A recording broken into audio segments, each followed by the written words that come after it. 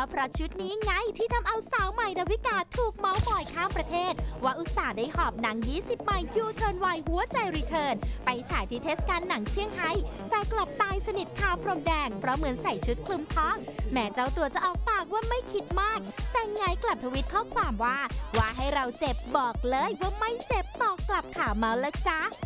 ใหม่ไม่ใช่คนแบบนั้นแน่นอนค่ะใหม่แบบชิลมากคือ อยู่ตรงนี้มานานแล้วแล้วเรารู้ว่าเราเราควรทำตัวยังไงแล้วค่ะ ไม่มีทางที่จะจะไปทำอย่างนั้น ไม่ต้องกลัวเราไม่ว่ากลับ ถ้าสมมติให้ย้อนเวลากลับไปได้อะเราก็จะใส่ชุดเดิมนะหมายว่าของแบบนี้คนเราชอบไม่เหมือนกัน อะไรที่ใหม่มองสวย บางคนก็มองว่าสวยด้วย บางคนก็อาจจะยังไม่ถูกใจอะไรเงี้ยค่ะ มันก็เป็นความคิดของแต่ละคนไป